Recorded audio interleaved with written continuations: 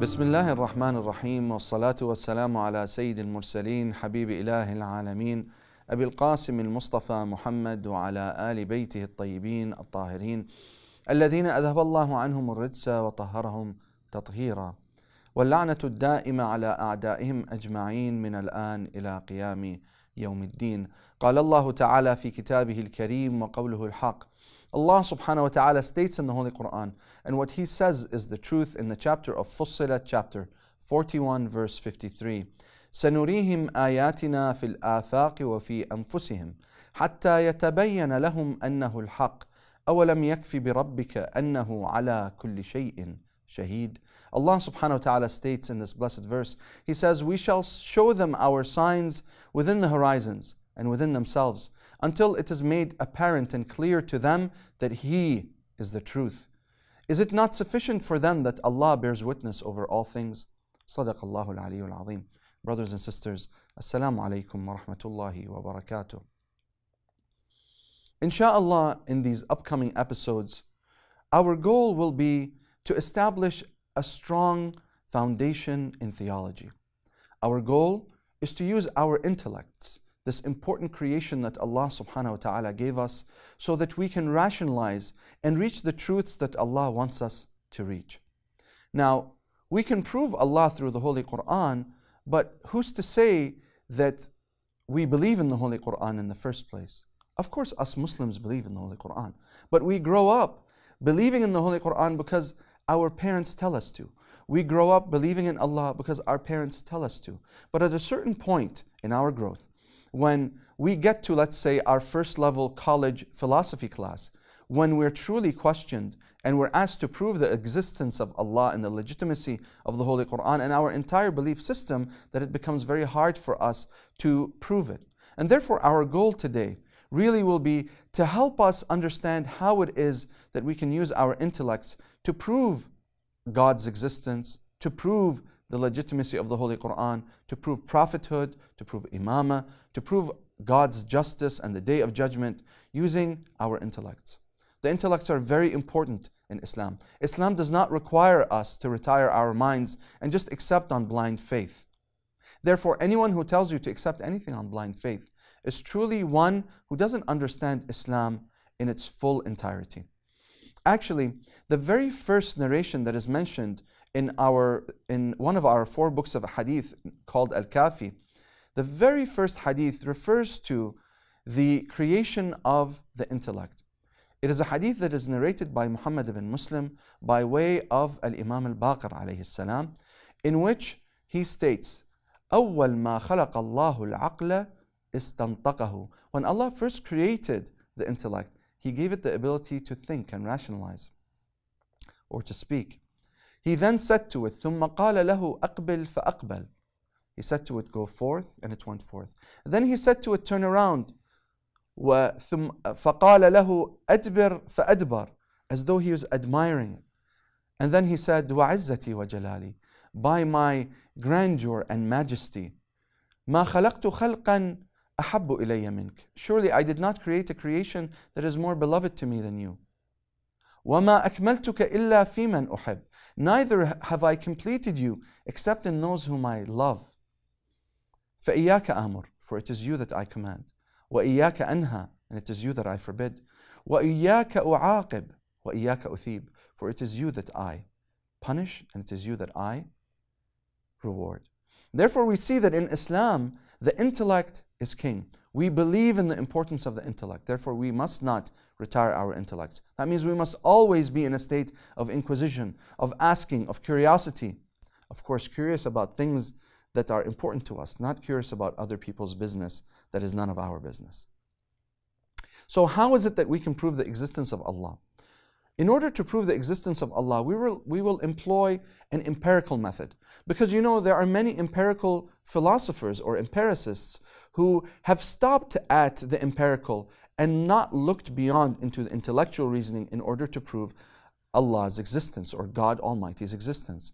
And therefore, we will use an empirical methodology in order to show those empiricists that you can use empirical methods to prove the existence of Allah. All empirical means is that we're going to use examples. multiple examples from physical and materialistic um, existence that will allow us to come to certain realities if we intellectualize and rationalize the proper way. So let's get started. The first proof is called the proof of organization. In Arabic, this is called Burhan al Nuzam. This is a very easy proof. And if I tell you to take an orange and cut it in half and look at it, once you look at it and you see how symmetrical it looks, all of the different parts of the orange, you can agree with me that it does look organized, does it not? Of course, you'll say yes. Now, how about an onion? If I cut it in half and I look at it, I will find that its layers, how beautifully organized they are, truly are a sign of organization. Therefore, I can say that the onion is organized, is it not? Of course, you'll say yes and agree. How about if I look at the cells of the onion? under a microscope. I'll see that they're, that they're laid together one by the other, just as bricks are. And each nucleus you can see under the microscope exactly similar to the other one next to it. Surely that is a sign of organization. So we can agree then that even cells are organized. Now, if I look at a flower, I'll find that the flower itself, like a daisy, if I look at it, it truly looks symmetrical. So that means that it's organized. So I'm sure you'll agree with me on that. What about the sun rising from the east and setting in the west? Of course, that is also an organized system. These are org all organized empirical examples. What about the solar system? With all the planets circumambulating around the sun, surely that is an example, a true example of an organized system. Therefore, I can say that the world, this, the universe, the solar system is organized. So I can safely agree then, we can safely agree that the world is organized based on the examples that we looked at. So let's set that aside. The next series of questions that I'll ask you are very simple ones also. Who organizes your room? You'll say to me, I do, or my mother does, or my wife does. Then I'll ask you, well, who organizes the doctor's office? You'll answer and say the nurse or the uh, assistant. If I ask you and say who organizes the mosque, you'll say the administrators or the janitors. If I ask you who organizes your bed, you'll say I do. Therefore, we can agree that for something to be organized, there has to be a creator of its organization. So let's review. First of all, we agreed that the world is organized. Secondly, we said that everything that is organized has a creator of its organization.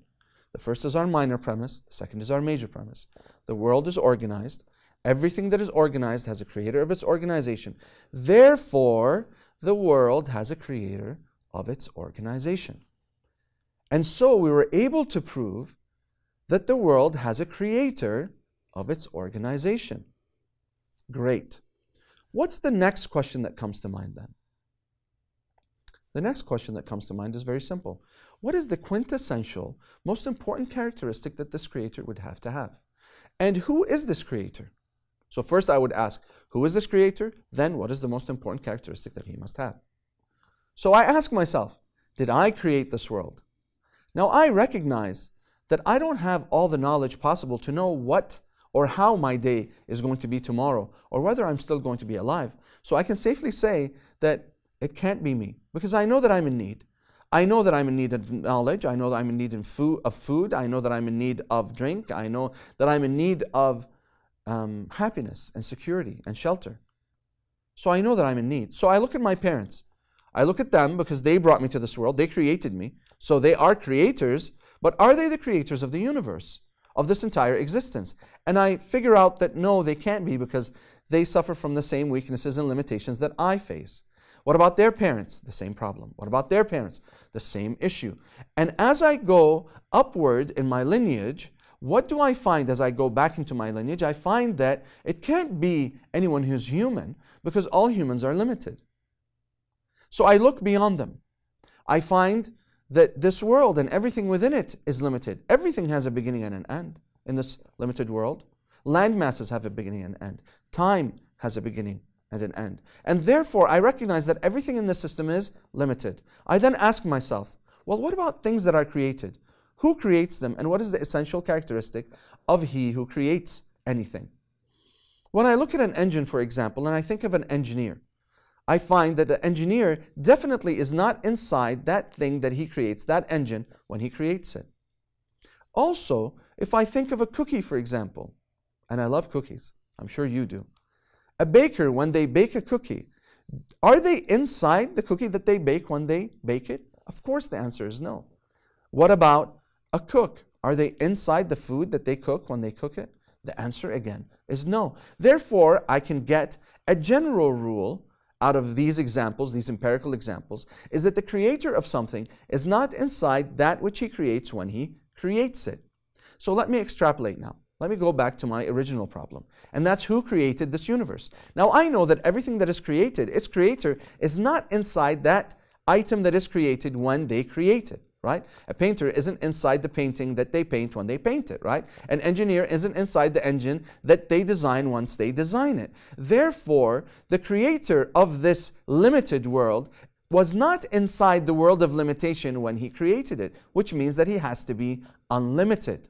You see?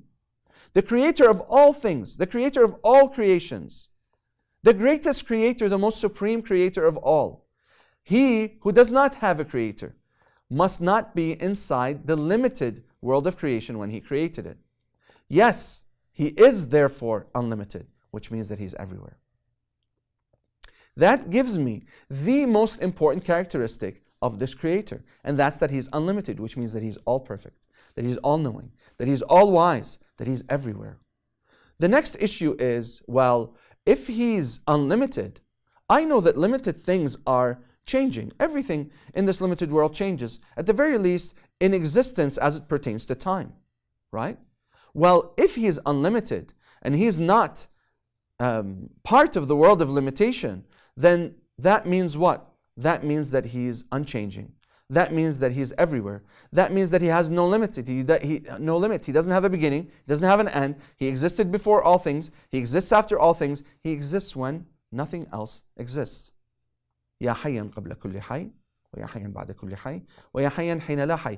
Of course, after he creates what he creates, he's everywhere.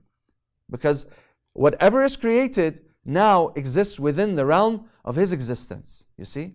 But he doesn't mix with anything because him mixing with something means that he is limited. So he's not limited at all, he's unlimited, all perfect, all knowing, all purposeful, all worthy, all just.